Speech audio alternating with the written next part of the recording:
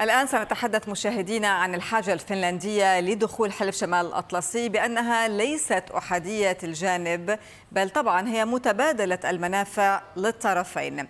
إذا انضمام فنلندا للناتو يضيف للأخير جيشا قويا ويضاعف طول حدوده مع روسيا وبالتالي طبعا يساهم بتعزيز دفاعات جناحه الشرقي في مواجهة أي هجوم روسي.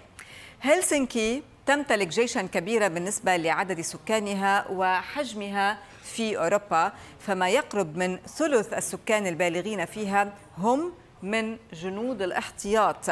هي قادرة على حشد 280 ألف جندي في زمن الحرب والاعتماد على احتياطي يبلغ بالإجمال 870 ألف جندي. فهي من الدول الأوروبية القليلة التي أبقت على نموذج التجنيد الإجباري. كما أيضا تمتلك واحدة من أفضل ترسانات المدفعية وأكبرها في أوروبا مع 1500 قطعة مدفعية ضخمة وذاتية الحركة. فيما قواتها الجوية أيضا تقوم بالأساس على نحو 55 طائرة F-18 الأمريكية الصنع مع التعاقد على شراء 64 طائرة من طراز F-35 إضافة طبعا إلى كل هذه القدرات العسكرية من شأن فنلندا توفير مزايا جغرافية رئيسية تعزز دفاعات الناتو. فحدود فنلندا مع روسيا تمتد لأكثر من 1280 كيلومترا وستساهم بتقريب الحلف أكثر إلى شبه جزيرة كولا الروسية.